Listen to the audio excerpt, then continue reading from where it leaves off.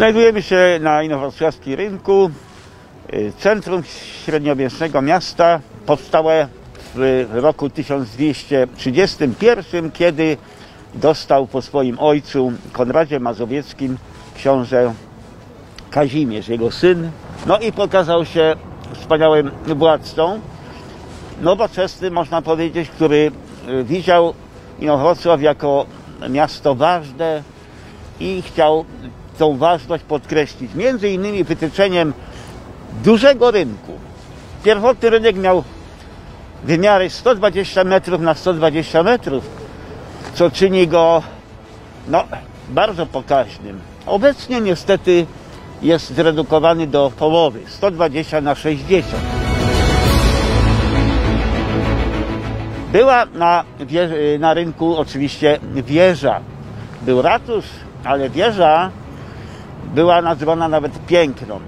Siedmiokondygnacyjna budowla, wzorowana na, prawdopodobnie na wieży ratuszowej wcześniejszej z Torunia, ale niższej. W 1869 roku osunęła się ściana południowa yy, i po dziewięciu latach Prusacy postanowili ją rozebrać.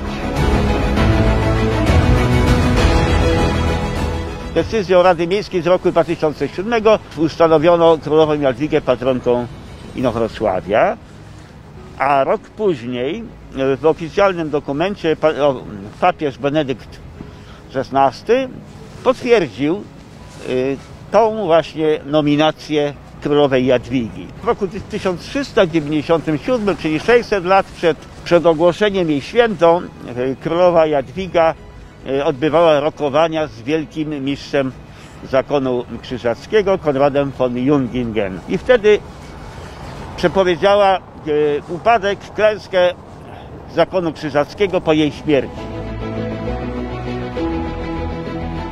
W tej chwili znajdujemy się na ulicy Kościuszki, gdzie kiedyś kończył się e, rynek e, na wschodniej stronie, na wschodniej pierzei.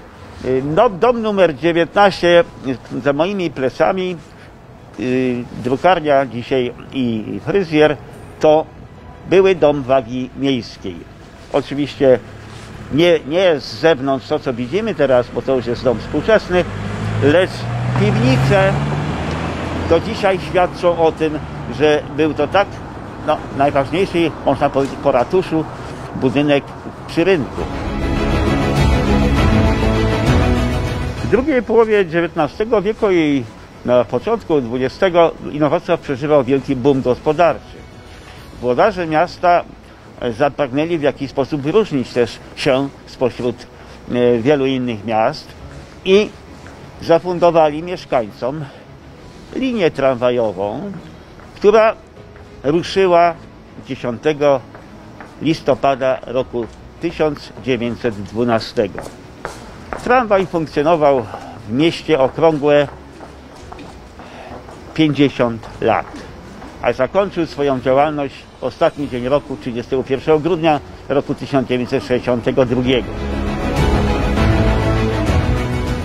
Przy rynku warto zwrócić jeszcze uwagę na dom z zegarem słonecznym. Urodził się tu Fryderyk Hoyer, zasłużony dla medycyny polskiej. Badania jego histologiczne, badania mikroskopowe e, wprowadziły wiele cennych, nowych rzeczy do rozwoju medycyny.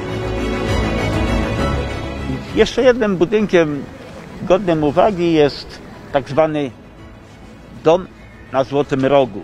Od jego frontowej ściany, od ulicy Królowej Jadwigi, można było widzieć między oknami pięć płaskorzeźb.